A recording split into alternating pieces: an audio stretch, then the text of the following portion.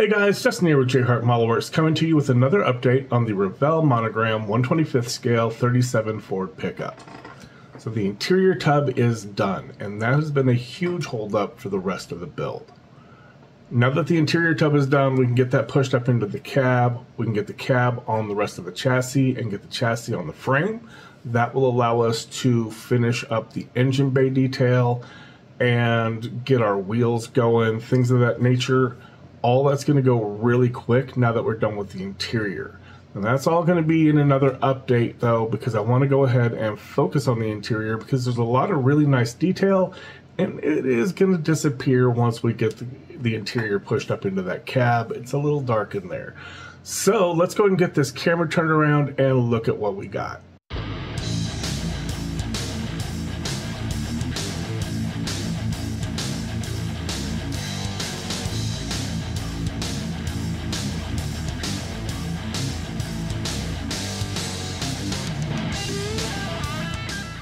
Hey guys, it is Monday, the 19th of February. It's President's Day, and surprisingly, I'm off. I also had a really bad bout of insomnia last night and could not sleep at all. So I've been working a bit on the truck last night and I got quite a bit done. And I wanted to just capture this real quick before I finish putting the interior together, as a lot of this is going to disappear. But I may as well go ahead and start over here on the chassis first which as you will see, I've got the bed assembled here. Our fenders are on. Our tailgate's functional. We didn't break that surprisingly. Our fire extinguisher is in place right there in its little bracket. As you can see, I have made rope. Uh, yeah, I, I, don't know why I did it, but I just, just thought that would be cool and just kind of tossed it in there on top of the fire extinguisher.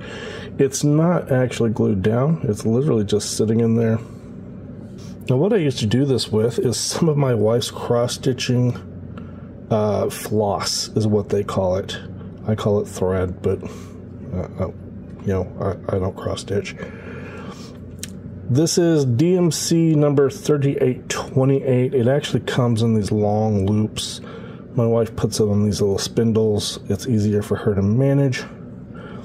You could honestly probably get away with just doing it just like that and calling that good. Now there's six separate strands in here. So what I did was I split them into two sets of three and then using a technique I saw in a survival video, like I'm ever going to be out in the wilderness needing survival, um, I actually hand wound my rope to get a more rope like texture to it, in my opinion. So that is kind of cool. If you let me know, and if you want, I'll actually do a a tips and tricks video on how to wind this, how to split this up and turn it into the two separate strands, and then the directions and how to wind it and wrap it to get that rope effect. But that's where we're at with that. We do have a hole drilled back here where our uh, that's where the gas cap goes. It comes out and comes up, so that's got a metal pin in it right now, and that is ready to go in there.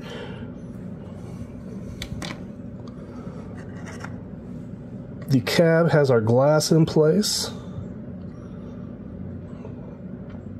We have our window trims done. Rear glass is in. We have our dome light installed in here. I've done everything inside with the metallic gray from Tamiya. So I threw in just a little bit of Bob Smith Super Gold Plus on the sides to kind of tack it in place. Then I ran back over here with some matte finish Mod Podge so that that would seep underneath there and help glue that into place a lot better. And then I just went back over it with, I brush painted some of the Tamiya metallic gray in over top of it. Um, you can kind of see in there where that glue is, but once you actually have it like in, if you're trying to actually look in it, you're not really going to see that enough to actually notice it.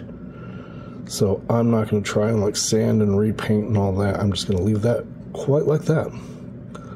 So that is about ready to have door handles on and the interior tub shoved into place. I want to get the door. I I don't really want to put the door handles on until I'm ready to put it on the chassis.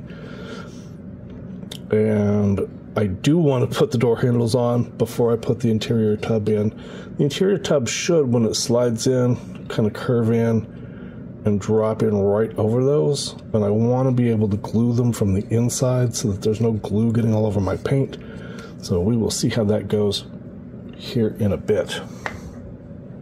The interior. We've done the seats in some Zero Paints saddle tan. It's over the black, so it's a little darker than it would have been if it was over the gray, but that's okay. I then went back over it with the Tamiya dark brown panel liner. So that kind of darkened in all the recesses in there, gives it a little bit more accent. Joe from Mad Genius sent me a video on some chipping techniques and some weathering which looked really cool, but I had already had the door handles and the window cranks in place, so I couldn't go back in there and do it. Maybe on the next one, though. Thank you very much, Joe. And we have our window cranks and our door handles in place. I did get a little messy on that one. I might try to come back in and clean that one up a little bit uh, dry brush some Vallejo silver over all these little bolts on the sides. So those kind of picked up a little bit as well. Those door handles look really cool in there. Uh, we have our pedals done. The clutch and the brake pedal are a pain in the butt, guys. There's no positive locating for them. They're just kind of a butt fit. So you've got to put some CA glue on there and then just hold them into place one at a time and hope that you get them straight and that they actually hold. If I were to do this again, I would probably go in and try to drill them out and put just a half millimeter metal pin in here and then drill out the floor pan so that you have a little more positive locating in there. But we did get them to work and they look pretty good. They're fairly straight. You're not really going to see them once it's actually in the cab. Anyhow, we have our gear shift done and I went ahead and did some burl wood patterning on that as well. Figured that would help match in with the steering wheel that we did. So that is looking good.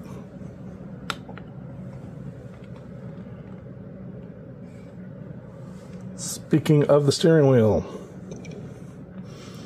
the steering column is completely done. Now there is a small post that sticks up where the original steering wheel should mount. And this Banjo steering wheel that I 3D printed is pretty flat and shallow. So I created kind of just a little transition piece here that I have a hole in to mount onto the steering column. And there's just kind of a flat in there that the it's just like a small little flat nub that the steering wheel itself can glue on top of and stay secure. So that looks pretty good. I also went in and I did drill it. I used a 0.3, no, it was a 0.4 millimeter drill bit to get the hole for this tiny little insect pin. This is a number one insect pin, so it's about 0.3 millimeters. Little CA glue little brown and some clear orange to give the knob just kind of the wood look. Again, to tie it in with the steering wheel. I think that's going to look great.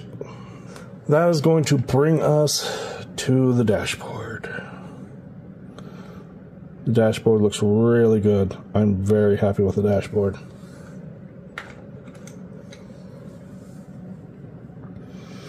I have one of my 3D printed ignition switches in here.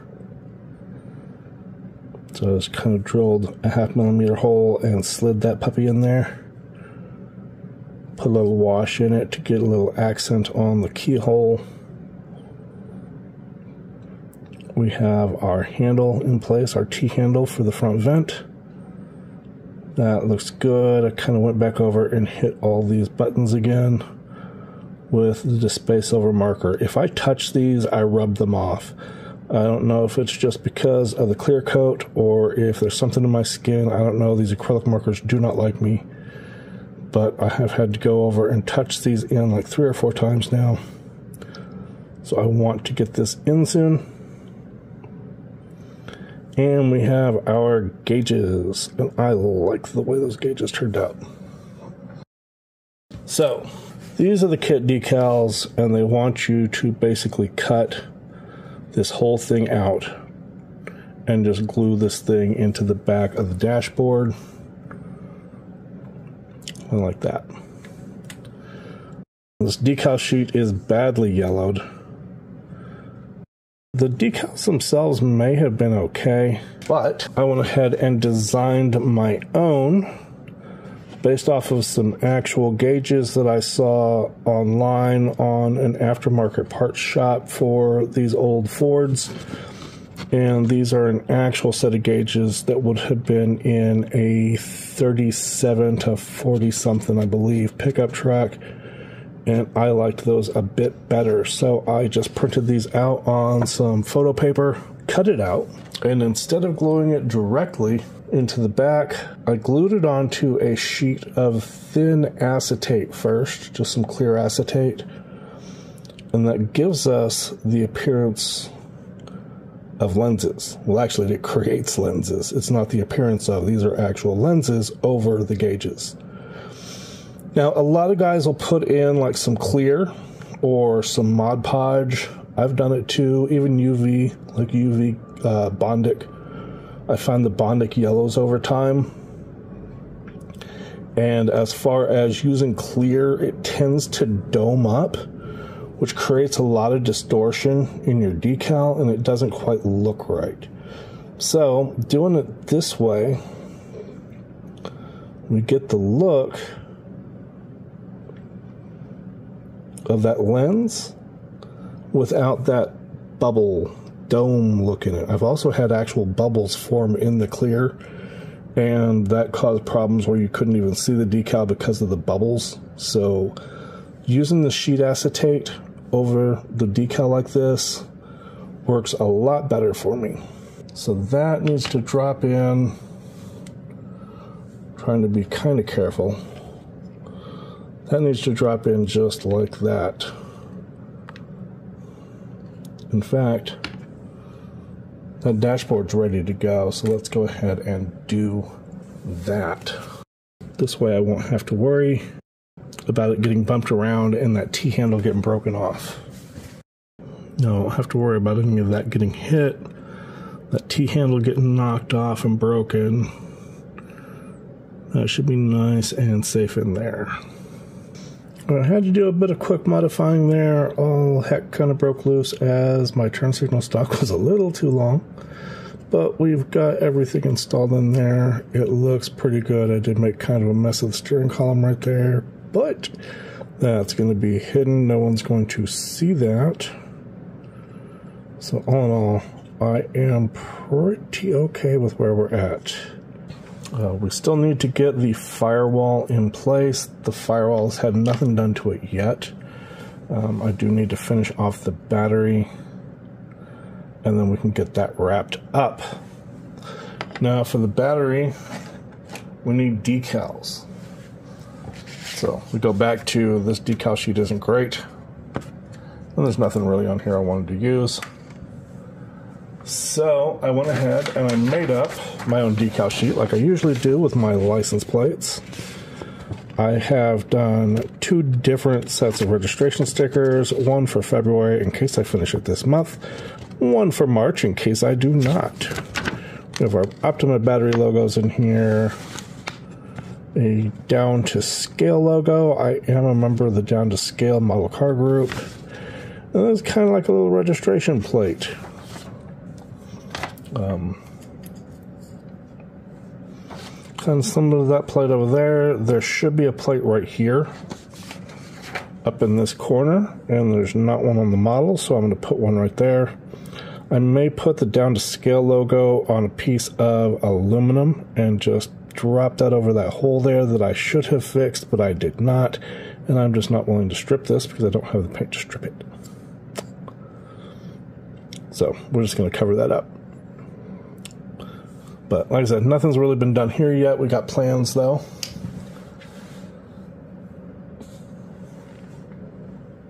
Um, we have also stripped almost all of our chrome stuff. I thought I had all the chrome stuff. I thought I had all of our chrome parts stripped, and it's all been painted up with some duralumin tough chrome. I love this chrome. This is a really nice chrome. The shinier your black is, the better. However, uh, it's fairly resilient to touching. It's not perfect. I can still rub it off. Uh, I guess my skin is acidic or something. So I do hit it with some Alclad Aqua Gloss, which dulls it down just a little, but really not that much, if, to be honest. That's a really good looking chrome.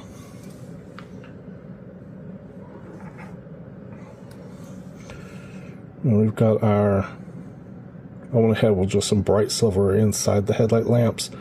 But we've got our chrome on the outside, and that's going to look good, and it's going to look pretty good for scale, too. It's not like super chromy like the kit chrome where it looks fake. I did go ahead and pre-assemble. After I stripped everything off, I went ahead and pre-assembled the mounts, which makes it easier to hold when you're trying to paint the, the chrome on the bumpers.